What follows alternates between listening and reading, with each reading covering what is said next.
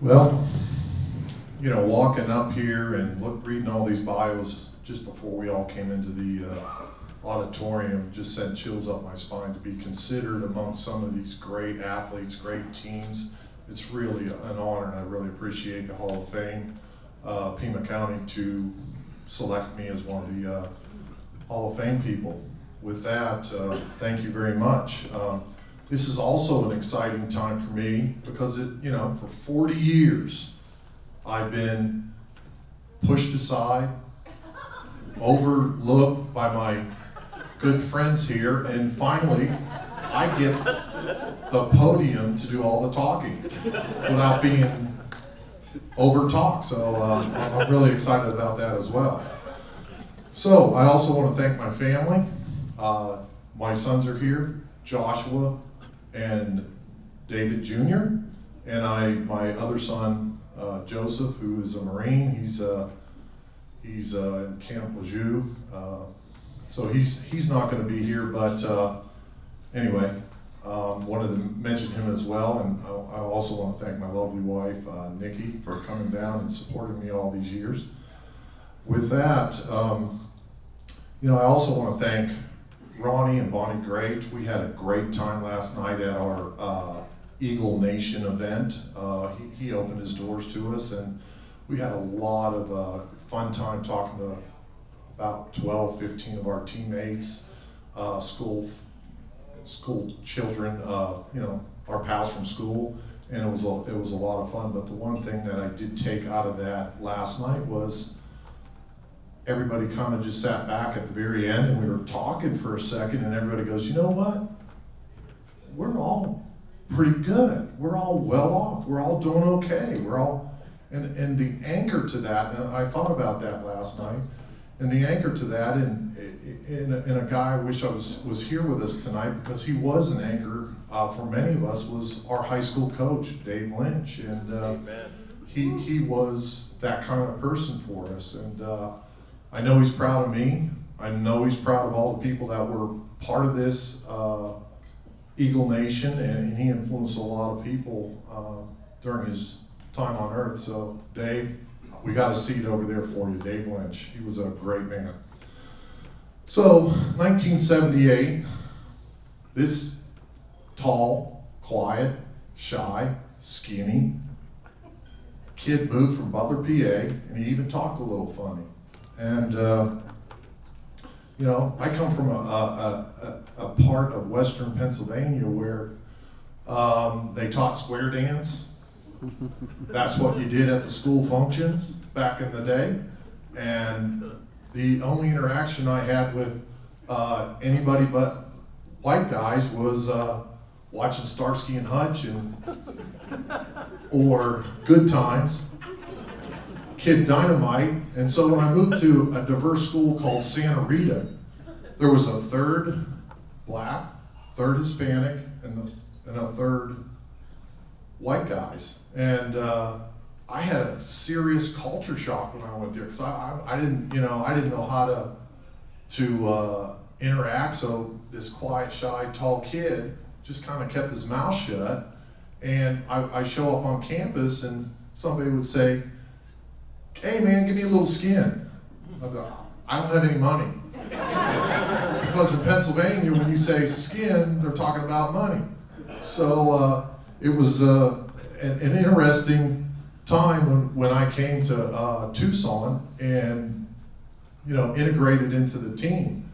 And some defining moments for me as I was getting uh, used to the culture shock was you know we're used to square dancing back here in Western PA, and I hear guys walking on the campus with boom boxes with with music blaring. All the freak to chic, freak out. I don't know if you guys remember that. Right.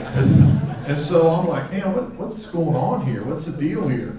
So uh, anyway, uh, so some of the defining moments for me at that time were uh, um, shortly after the season started, we were at, at playing a game, and coach had been just, Dave, you need to do this, you need to clear out, you need to use your elbows, you need to blah, blah, blah, blah, blah. And I'm like, okay. So they threw the ball to me down the post. And I got, did exactly what coach had been teaching for me for a few uh, weeks. And I ended up knocking the teeth out of the guy from Palo Verde. And so I was like, oh my goodness. So halftime rolls around, and there I am sitting in the locker room, and I'm kind of, coach comes up, and he goes, well, Dave, can you explain? Because I didn't say a word to anybody at that school. I mean, I didn't talk as a sophomore. I mean, I was on the varsity team. I didn't speak much. And so coach all of a sudden pulls me out there and he's like, well, Dave, tell me exactly what happened there. And the whole team was around. And now I'm like, well, coach, uh, uh, I did the move you taught me. And I hit him with my elbow. And everybody starts laughing at me. And I, that's how we spoke in Pennsylvania. It's elbow. So, uh, but the unique thing about that experience was that my team rallied around me, and that to me was a defining moment for for me to get acceptance into that team because as we got out of that halftime locker room, the guys all rallied around me, patted me on the back, and they started to accept me as their teammate. So that was a defining moment for me. And another defining moment was when that same year I started to learn how to dunk in practice. And coach, towards the end of the season, goes, Dave, you need to. Uh, you think you can get you a, a dunk sometime this year? And I'm like, I don't know, coach. I'm going to sure give it a shot. Well, it was against Cholla, and uh, I ended up. There was a ball that was stolen by somebody, and they passed it up to me, and I was so excited, the dribble was getting behind me because I was running so fast, and it started getting to getting further and further behind. So I kind of take off and I dunk the ball, and my feet went all the way up behind the backboard, and I let go, and I went boom. If I was glass, I'd be still picking up the pieces. Anyway, that that uh, was also a defining moment for me because it started to give me the confidence as a basketball player that uh, I could play with these guys and, and grow as a player. So, to me, I, I look at my career and who, who the mentors were and who, who, and I would say, you know, we often hear it takes a village to raise a child. I think the same thing is true with an athlete. You can look at a multitude of people in your life who helped develop you to what you are today.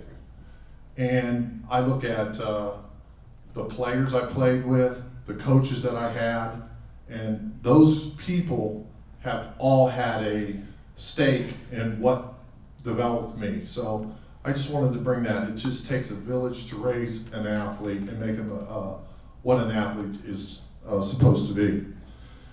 In closing, I, I believe all roads lead back to Tucson for me. All roads. I've been all over the world, I've played all over the world, but every time I think about my teammates, every time I think about my, my basketball career, where it started, the roots, it all comes back to Tucson. Um, you know, my competitiveness now, I hate losing, and my competitive nature uh, was developed here in Tucson. My shooting, my all, everything I had to do with uh, basketball was started here and was developed here. And, and, and speaking of competitiveness, you know, my coach Dave Lynch, he used to play us one on one all the time. And I remember he was playing that little guy over there, Andy, and uh, Andy ended up beating Coach Lynch. And Coach Lynch starts running around, and then he banged his head on the floor. And I'm like, man, wow, that guy's banging his head on the floor. So I ended up playing Andy, and Andy beat me. So I thought, well, maybe that competitive nature, maybe I need to bang my head on the floor. So I went over there. Only thing I got was a headache. So anyway, um, I just want to uh, leave it that I have some great friends from my high school. They've been with me 40 years. We've done a lot of things together, been all over the world with them. And I really appreciate today's time with everybody, and thank you.